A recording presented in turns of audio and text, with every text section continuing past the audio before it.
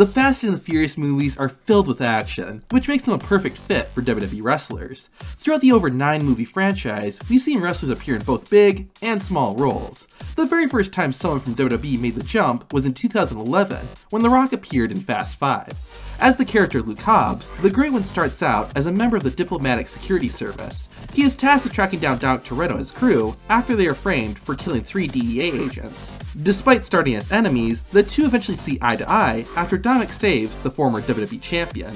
While the People's Champion decides to continue to work for the government, he still helps Toretto, even breaking out of a hospital to help Dom.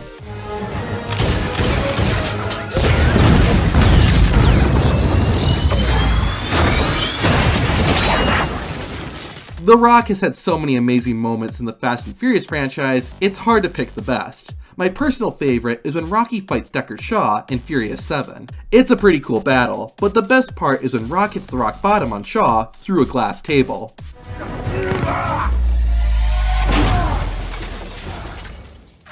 That's freaking awesome. Speaking of Furious 7, later in the movie, the team travels to the capital of the United Arab Emirates, Abu Dhabi. They need to steal a USB drive containing an advanced tracking device called God's Eye. The device is in the hands of a rich prince, so the Fast and Furious crew have to pull off a heist to get it back. The head of the prince's security is a woman named Kara, played by former Raw Women's Champion Ronda Rousey.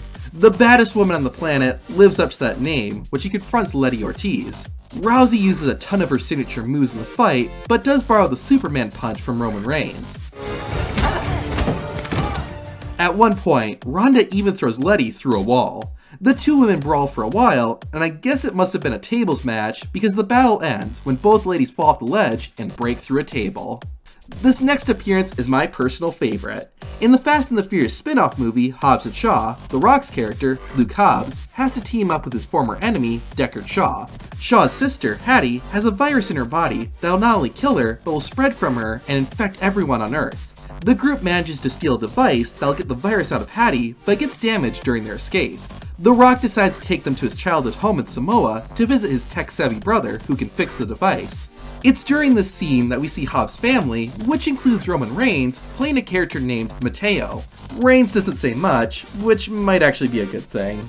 You are a sniveling little suck-up sellout full of suffering succotash, son! The head of the table is mostly seen in the background until the bad guys show up. The villains of the movie, Eteon, invade The Rock's home to try and take back the device. The Great One and his family unfortunately don't have any guns, but they do manage to disable Eteon's weapons for a short while. This allows Reigns to bash people with his club, as well as use his fists. It all looks pretty cool, and Roman even manages to hit a Samoan drop, followed by his signature battle cry. There's also a cool part where The Rock and Roman Reigns team up to take down the villains. The Rock and the rest of his on-screen family also mention Uso a lot, but I didn't see Jimmy or Jay anywhere in the movie. Usos! I love you, Uso. Do Uso. Uso! Uso! While this wrestler hasn't appeared in any of the Fast and Furious movies, he did voice a character in the Spy Racers animated series on Netflix. Take a listen and see if you can guess who voices this guy. How did I get out here? Wait, you two saved me, didn't you? I knew I could count on you two. If you guessed Big Show, you are correct. The world's largest athlete voices Palindrome, a muscle-bound giant goofball, so basically what the Big Show is like in WWE.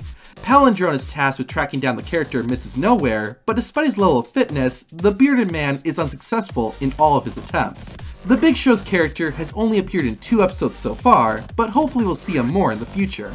If so, maybe we'll get to see him hit a chokeslam or a KO punch at some point. While not really getting to play a character, it's worth mentioning that Vladimir Kozlov did do stunt work for the Fast and Furious franchise. Specifically, the Moscow Mauler appeared in the 2017 film Fate of the Furious. During the movie's climax, the crew find themselves invading a military base in Russia. The Rock and the other members of the team have to fight off an onslaught of Russian soldiers, and one of them is played by the former WWE Tag Team Champion. Even though he didn't get much screen time, Vladimir Kozlov was able to snag a picture with the People's Champion and gave The Rock some major props on Twitter.